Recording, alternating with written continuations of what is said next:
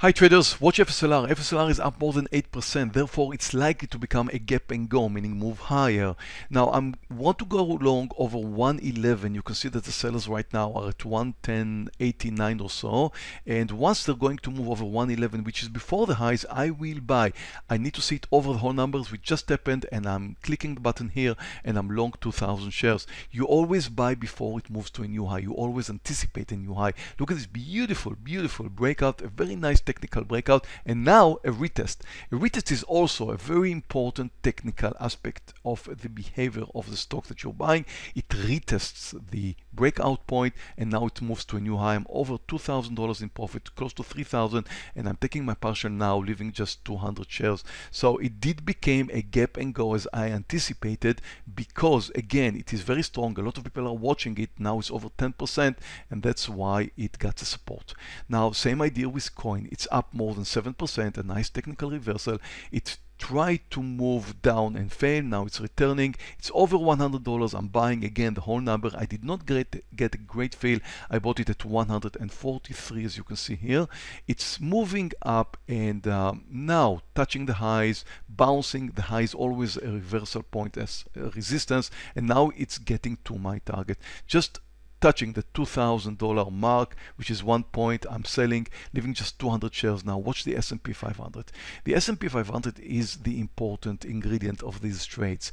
Why? Because the S&P also started with a gap up. You can see the big gap up and a continuation. So the first two five minute candles are moving up, which means I'm getting the support of the institutional traders. So it's not only about the technical formation of the stock that I'm trading, it's also about getting the support from the institutional traders. So if you take a look at FSLR, it did start with a big gap up today. It had a nice technical reversal because again, it tried to move down, it failed, and then it moved over the whole number 111 where I bought it, and then it moved higher. And again, being supported by the fact that it has a lot of volume, a lot of people are watching it, and institutional traders. Same thing with coin.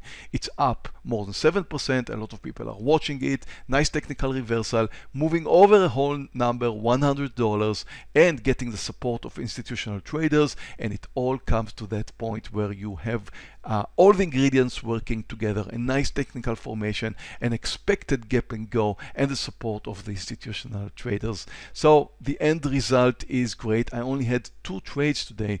The end result is just over $4,000. I did not feel safe continuing to trade after that. The reason for that is the first 30 minutes on a Monday morning. There's a lot of open orders coming out on a Monday morning. So uh, the market is likely to move in a big way, either up or down. It moved up today and then reverse after 30 minutes. So the fact that the market was moving up, I did not trust it to continue moving up. And I was right because later if you take a look at what happened to the S&P 500 it did came down. We've seen the high on the 30 minute mark. We call it the Monday morning reversal. That's a 30 minutes very strong reversal. Doesn't always happen but in many times it does and we have seen the high at the 30 minute mark. So I didn't feel like safe going for more longs because I did not get the support on the market. I didn't feel safe going short because the market was very strong. Anyway it's a good trading day for just a 30 minute work.